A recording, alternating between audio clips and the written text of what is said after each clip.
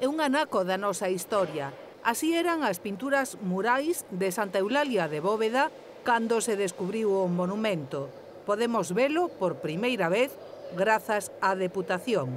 Amosar por primeira vez estas seis acuarelas da colección realizada polo restaurador Elías de Segura no ano 1927, xa que se trata dunha testemunha directa e orixinal do estado de conservación das pinturas no momento do seu descubrimento.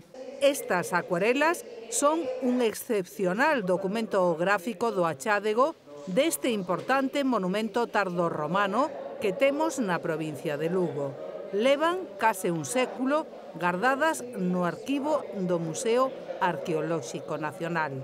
Son 90 anos que levan eh, conservadas nun, nun arquivo fora da, da, do ollo público, eh, fora dos eh, investigadores incluso. O investigador Enrique Montenegro cumpriu un soño o localizalas. Estaba dentro do, do, utópico, ¿no? Estaba, para mí era una cuestión utópica el poder ver alguna vez realmente esas, esas acuarelas y ya pues mira, poder verlas, estudiarlas, contar con el Museo de Arqueología Nacional que se portaron muy bien y luego poder traerlas aquí y mostrarlo todo a, en Lugo, pues mira, mejor imposible.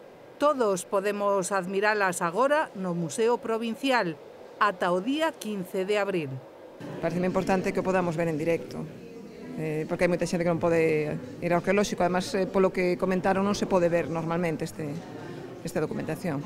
Eso está, é moi interesante. Dan testemunha do que foi eh, o monumento dende os, a súa eh, primeira campaña de excavación ata agora.